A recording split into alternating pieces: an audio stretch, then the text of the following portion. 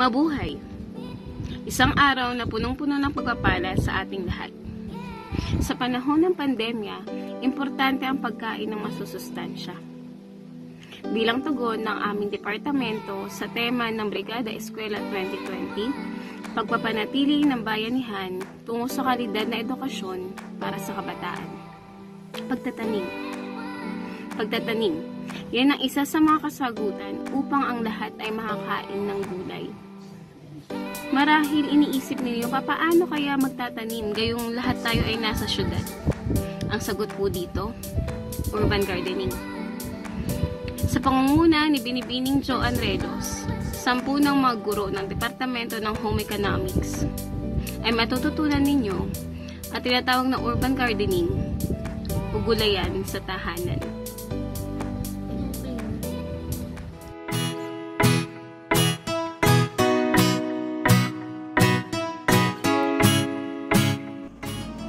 Magandang umaga, Obadience, pati po sa ating mga magulang na nagbigay po ng oras para makisali po sa ating Brigada 2020. Muli, ako po si Ma'am Jo at pag-uusapan po natin ngayon ang tungkol po sa urban gardening. Ngayon po ay pag-uusapan natin ang Gulayan sa Tahanan, isang programa na isinusulong po ng ating Brigada Eskwela 2020. Ano nga ba ang urban gardening? Atin pong alamin. Ang urban gardening ay isang paraan ng pagtatanim sa isang limitado at maliit na espasyo ng inyong tahanan. Ibig pong sabihin, maaari po natin itong gawin sa harapan po ng ating bahay kung may espasyo pa naman po doon. Pwede rin po sa likod at maging po sa ating rooftop kung meron po tayo. Pwede rin po itong gawin sa mga bakanting lote na hindi pa po natatayuan ng mga infrastructure. Sa katunayan po, ang gulayan sa paaralan ay isang halimbawa din po ng urban gardening. At ilan lamang po sa mga layunin ng programang ito ay ang mga sumusunod. Number 1, raise the level of public consciousness on the health and nutritional dimension as well as economic benefits of establishing school household and community gardens. Ibig sabihin po, ito po ay naglalayo na mapataas ang ating kamalayan pagdating po sa ating kalusugan sa pamamagitan po ng gulayan sa ating paaralan.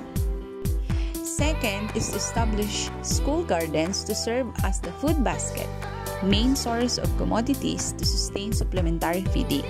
Alam niyo po ba na ang mga naaning gulay mula sa gulayan ng paaralan ay ginagamit po sa school feeding program? Next is to intensify production of selected varieties of fruits and vegetables that are rich sources of protein, calorie, vitamins, and minerals to improve child nutrition.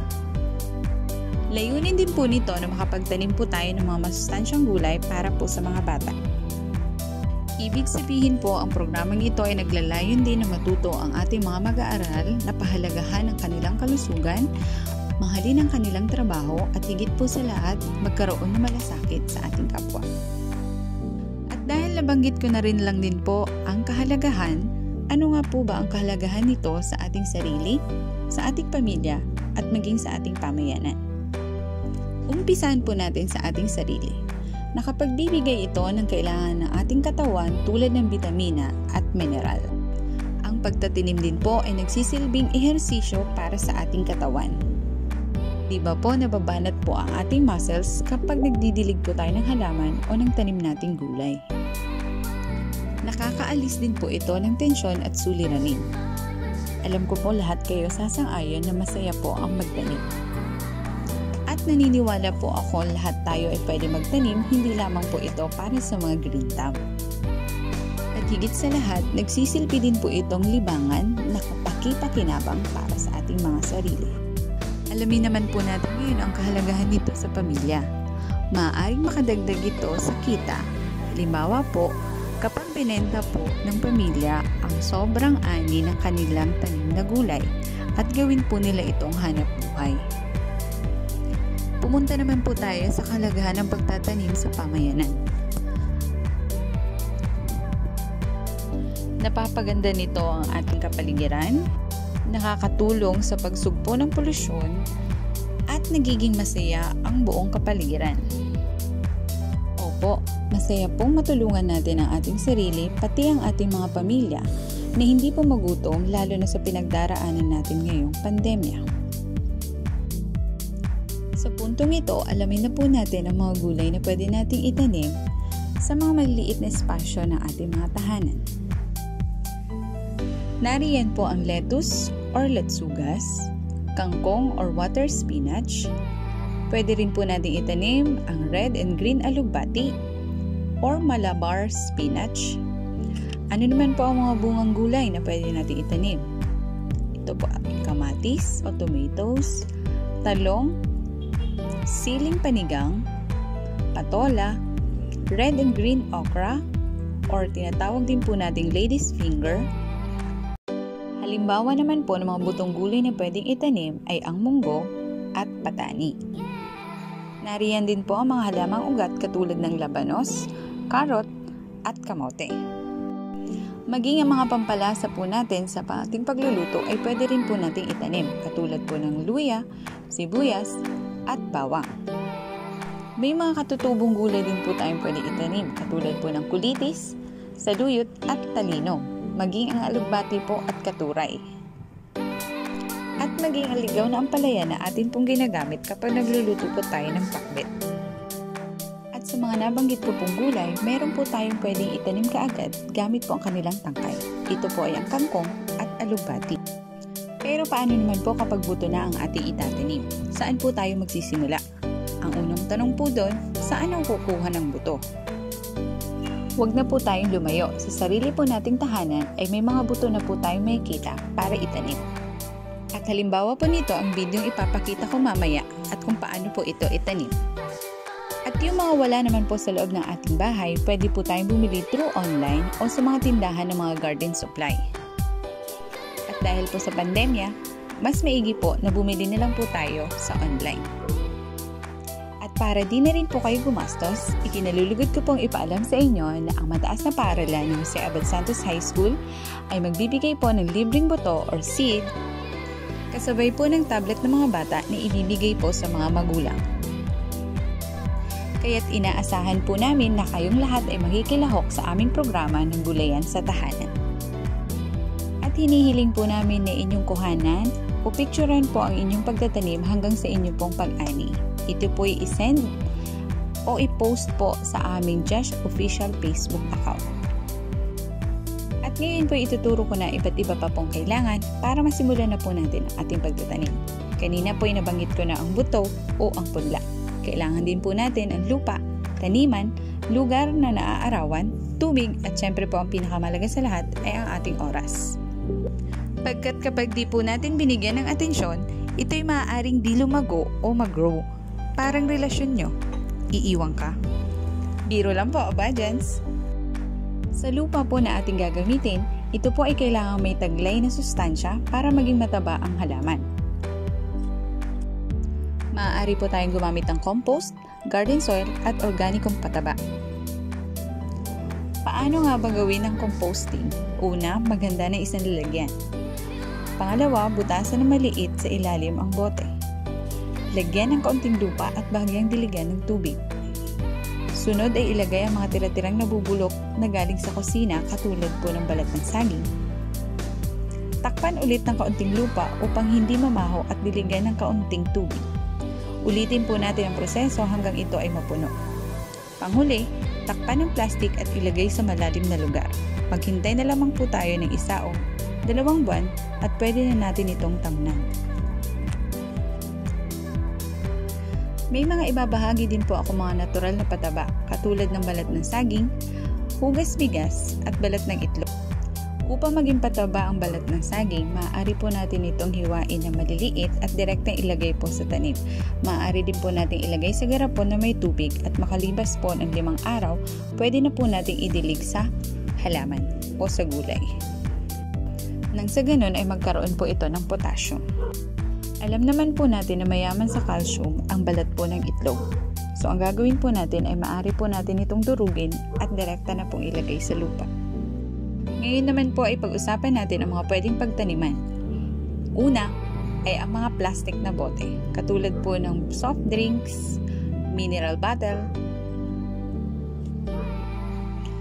at pwede rin po natin pagtaniman ang mga lumang gulong Kadalasan po ginagamit ito sa gulayan sa paaralan.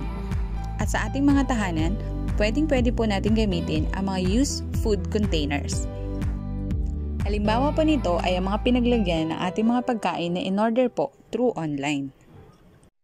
At ito po ang mga halimbawa ng mga pwede natin pagtaniman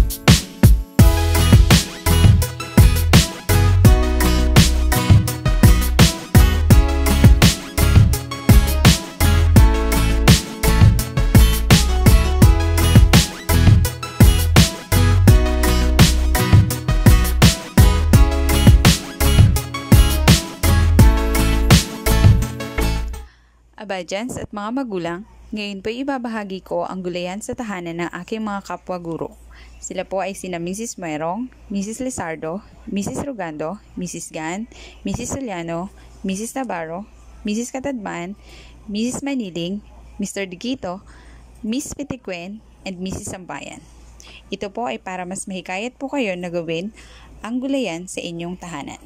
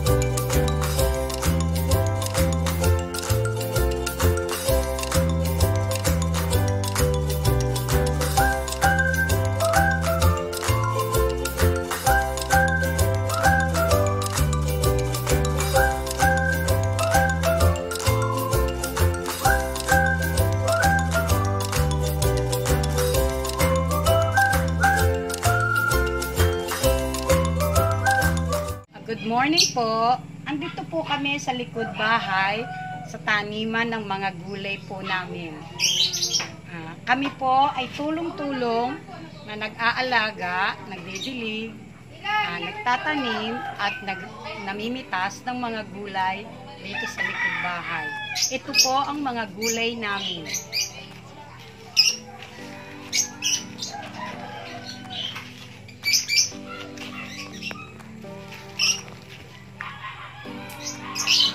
Ay ay siling prasko. Papaya.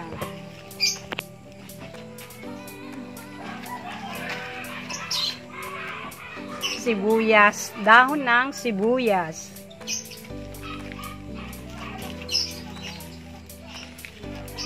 Ito po ay talong. Yan po ay okra. Pechay.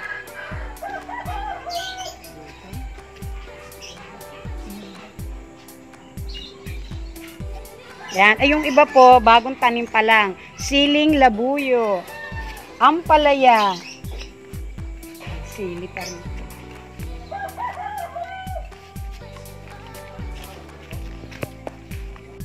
Ito po ay patola. Naman po ay okra.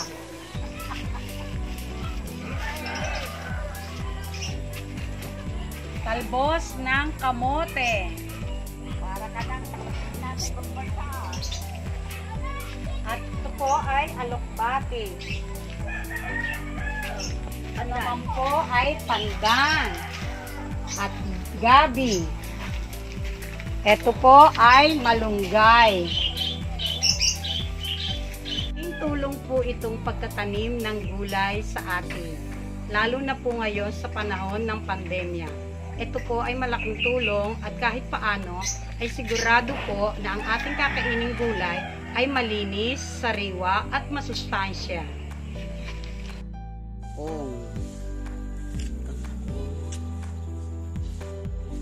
Tanim sa lahat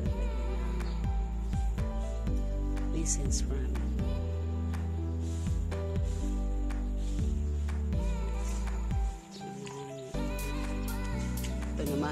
Ito naman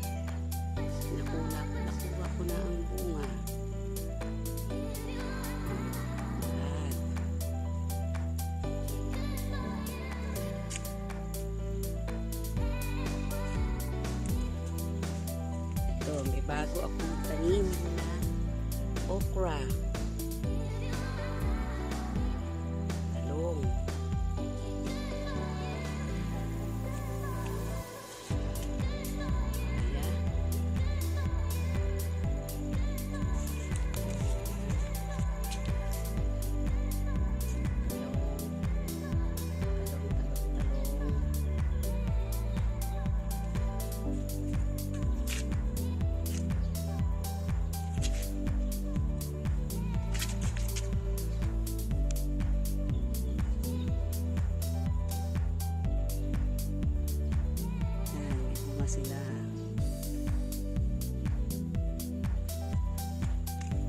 Kamatis.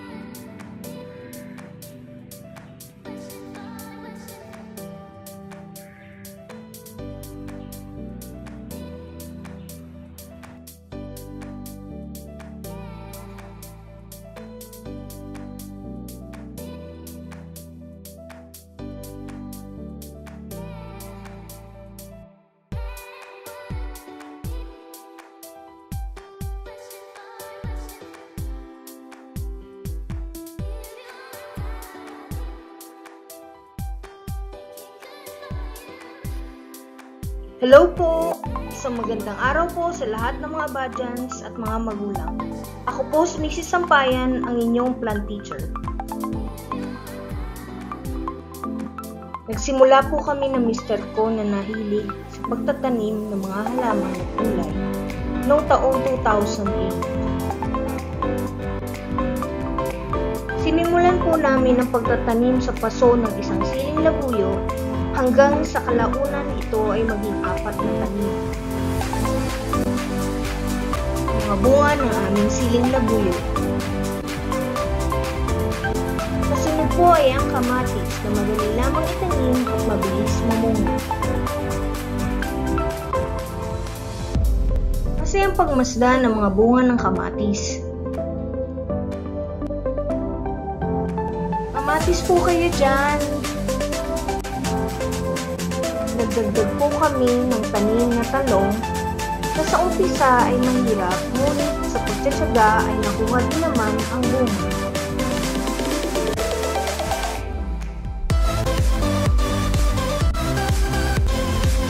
Panglima ay ang sitaw na siya naman paborito kong gulay. Habang nadadagdagan ng mga tanim, siya rin namang nadadagdagan ang mga lupa na kakulangan.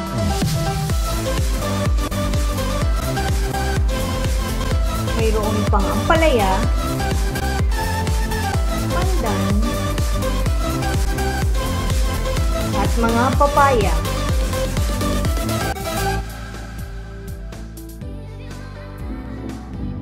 Naging libangan at hilig na po namin ang pagtatanim na nagdudulot sa amin ng saya, kabawasan ng stress, at higit sa lahat dagdag sa aming pagkain. Kaya naman po inaanyayahan ko kayong lahat na magtanim ng gulay kahit sa maliit na spasyo at lalagyan lamang. Magtanim ay di saya at ligayang dulot ay buo. Muli, ako po si Mrs. Sampayan, nagsasabing maligaya at mabuhang pagtatanim po sa inyong lahat. Ayan, may pangunahing kaalaman na po tayo sa pagtatanim ng gulay sa ating. Muli, ito po si Ma'am Jo at naiiwan na isang slogan na Gulayan sa ating tahanan, tara na't ating simulan na ang buhay ay gumaan sa pandemyang ating nararanasan.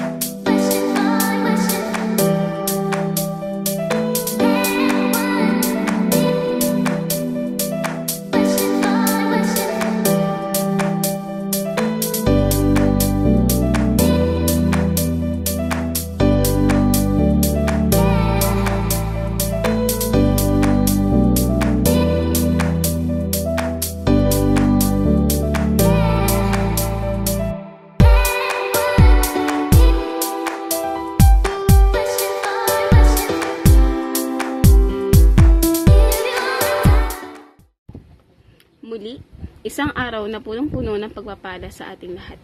Kaugnay pa rin ng Brigada Eskwela 2020, ang Departamento ng Home Economics ay pumili ng dalawang guro upang magpakita ng kanilang husay sa pagluluto. Pagluluto ng mga pagkain na maaaring gawing pangkabuhayan sa panahon ng pandemya. Kaya, ibinibigay ko na sa inyo si Naginang Gemma Pineda at Ginang Lucita Faliorina kapwa guro ng Home Economics Department, Baitang Siam. Sila ang magpapakita kung paano magluto ng mga pagkain na maaaring maging pangkabuhayan.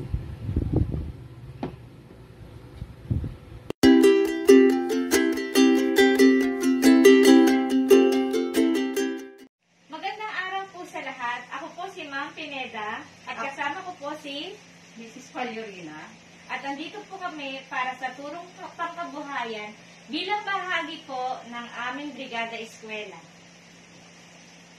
Ito po ay aming ginagawa taon-taon upang magbigay ng karagdagang kaalaman at kabuhayan para sa aming mga mag-aaral at gayon din po sa mga magulang. So, handa na ba kayo, Aba, dyan?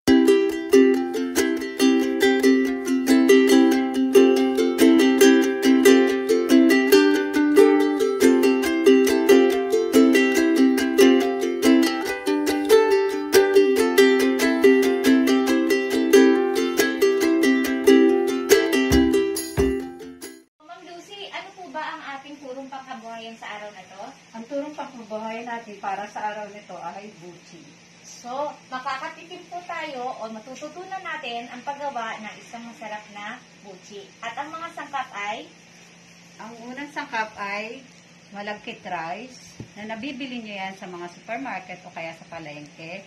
4 cups. 1 cup sugar, white sugar. 2 cups boiled and mashed kamote. And then 3-4 cup water. At para naman po sa fillings, gagamit tayo ng mashed kamote at sugar. Pwede rin kayong gumamit ng ibang fillings na gusto ninyo. Pwede din kayong gumamit ng keso o kaya ng mga ah, caramel o kung ano po ang gusto ninyo. Gagamit din tayo ng linga at saka cooking oil para sa pagpiprito. So, ito ang mga paraan ng paggagawa ng buchi. Paghaluin lamang ang asukal na puti at ang malagkit rice. Haluin itong maigi para ma-blend yung asukal sa malagkit rice. At tapos nun ay ilagay ang mashed potato. So, pagsamahin lang ito sa pamamagitan ng paghalo nyo ng kamay. Hindi na kailangan gamitan ng panghalo. Tam, ang mga daliri lamang ninyo ang pwede nyo ah, magamit para sila ay magsama-sama. Tiyakin lamang na sila ay halong-halo bago nyo lagyan ng tubig.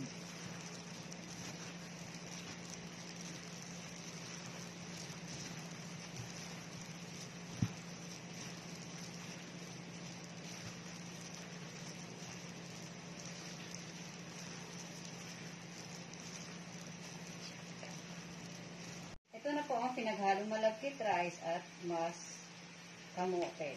Pag wala na kayo nakikitang kamote na, na nakalabas, eh, pwede nyo nalalagyan ng tubig.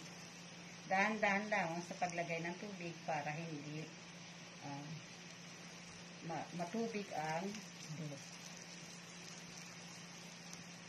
Haluin lang po hanggang magdikit-dikit yung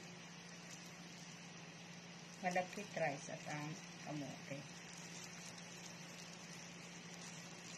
Pag ito ay mamasa-masa na, pwede nyo siyang bilugin para maging isang dough.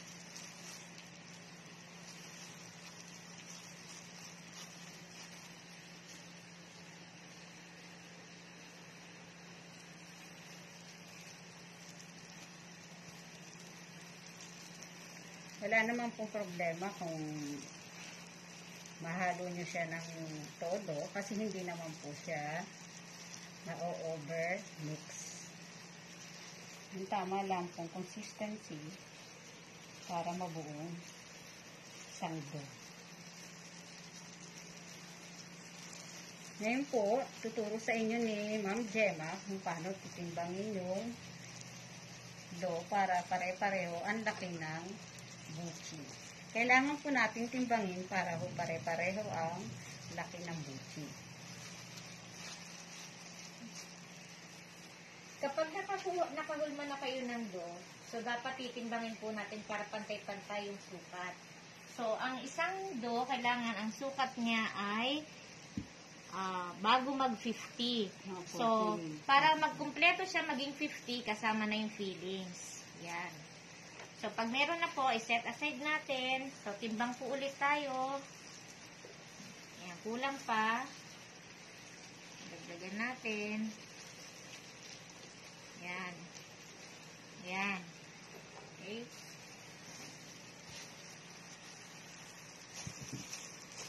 So, yung mga natimbang nga, itabi lang po muna natin. Mamaya, lalagyan natin siya ng fillings at atin siyang bibilugin.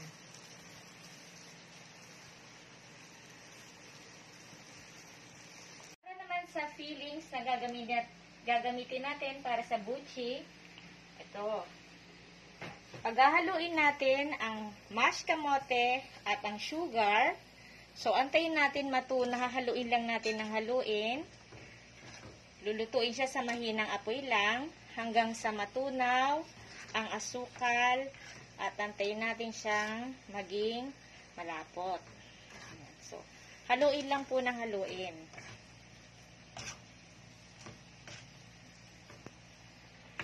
Ayan. Tuloy-tuloy lang tayo sa paghalo hanggang sa makuha natin yung tamang consistency. Huwag natin lalakasan ng apoy. Dapat tamang-tama lang yung apoy para hindi masunog ang ating kamote.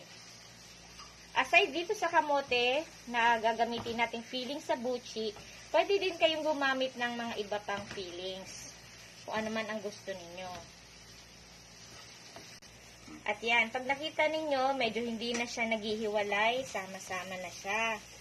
Yan, medyo buo na yung kanyang consistency. Malapit na malapit na po yan.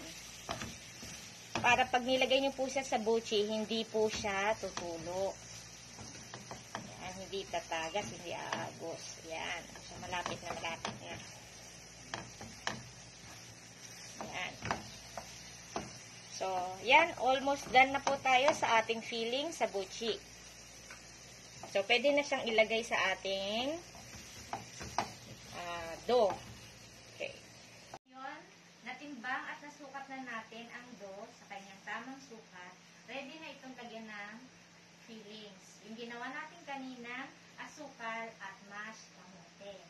So, paano pag paglalagay ng fillings?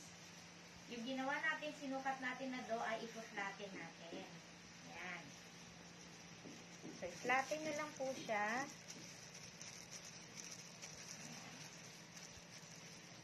So, ayan po katulad ng ginawa ni Ma'am Lucy kanina. Ayan. Parang lang kayong gumagawa ng siopaw. Dito it na na-sealed nyo maigi yung do. And then, bilugin ulit.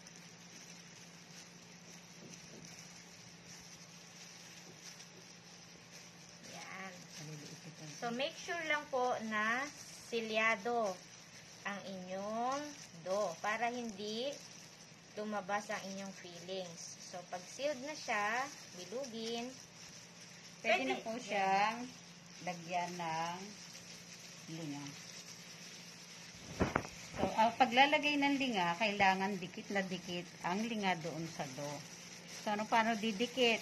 Medyo pisil-pisilin nyo po para po siya ay dumikit. Kasi kung hindi po siya didikit, pag pinrito nyo to, maaalis yung linga. Ang laki na labasan ng inyong buchi ay kalbo. Ganito po ang tamang paglalagay ng linga.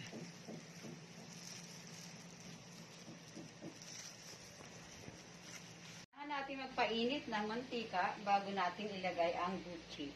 Gumamit tayo ng chef basket para maprotektahan ang buchi na masunog.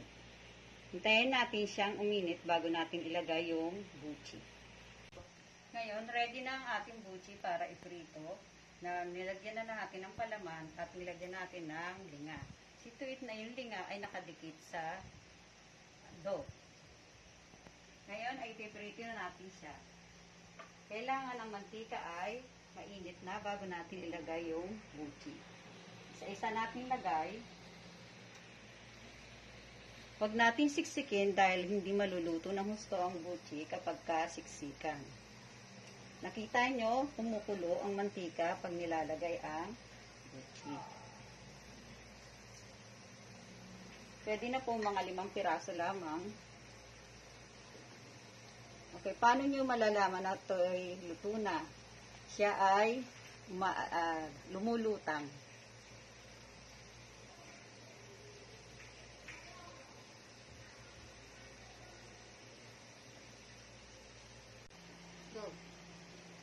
Mag-ingat lamang sa pagpiprito ng buchi kasi baka kayo ay ma matapunan ng mantika. Kailangan gagamit kayo ng tong sa paghahalo ng buchi. Ito'y ma- malalaman nyo ito'y luto na kapag ito ay golden brown na. Ang purpose ng chef basket ay para nagsisilbi rin siyang salaan para tumulo ang mantika bago natin siya ilagay sa plato.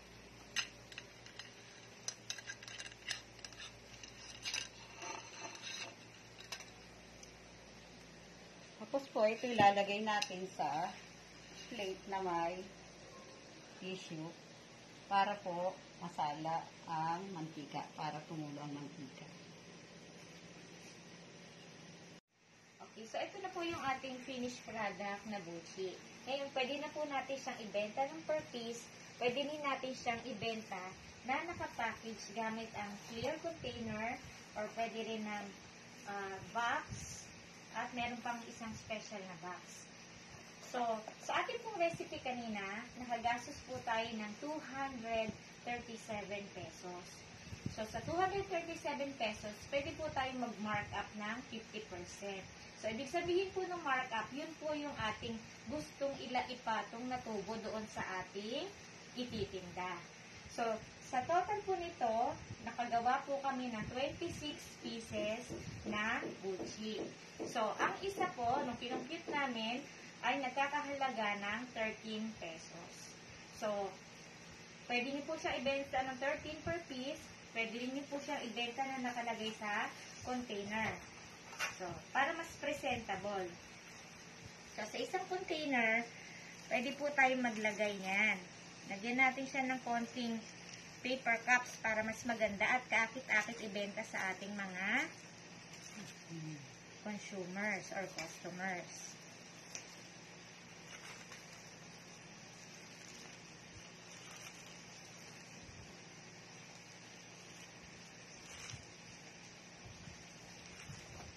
Ayan.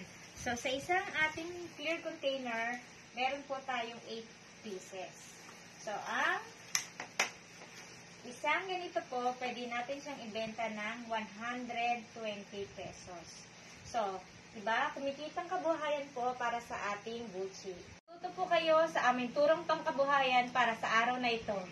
Na pwede niyong pagkaktaan, lalo na ngayon sa panahon ng pandemya. Maraming salamat. Muli ako si Mrs. Pineda. At si Mrs. Pagliorina, nagsasabi sa inyo, hanggang sa muli, Brigada Eskwela. Thank you. Bye-bye!